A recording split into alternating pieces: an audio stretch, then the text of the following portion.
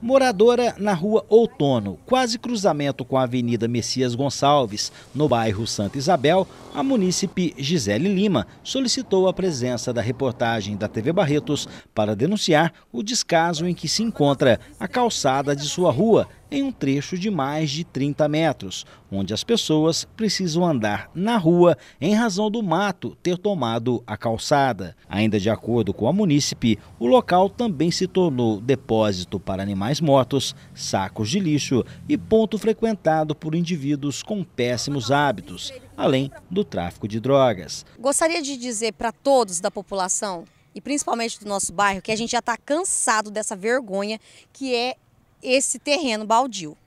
Esse terreno tem dono. Eu gostaria de pedir também para a prefeitura que tomasse as suas previdências, porque eu já pedi um requerimento na prefeitura, mas até hoje ninguém me atendeu.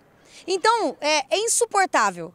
O cheiro é rato na minha casa, é barata, é mosquito. Aí depois vocês querem cobrar que a população não está fazendo é, o controle do, do, do, da dengue.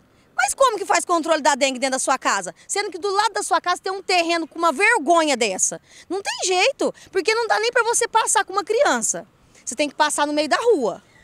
Problemas com indivíduos que mexem com droga aqui nesse local também? Também. Além disso, você tem que aguentar a noite inteira barulho de pessoas, de indivíduos que ficam a noite inteira ligados, né? Nas coisas ilícitas. Aí que como que a gente faz? Você não pode nem abrir a boca, porque se perigar ainda você é morto. Sobre o perigo de ser atropelada por não ter onde ficar na calçada, Gisele Lima disse que o cruzamento da Rua Outono com a Avenida Messias Gonçalves é o ponto mais crítico e quem se atreve a andar pela calçada sai cheio de carrapicho. Um dos pontos mais perigosos, que ainda tem mais um pouquinho mais para cima, mas esse daqui, quem tá vindo de lá para cá, ele tem que descer aqui a minha rua, a rua Outono.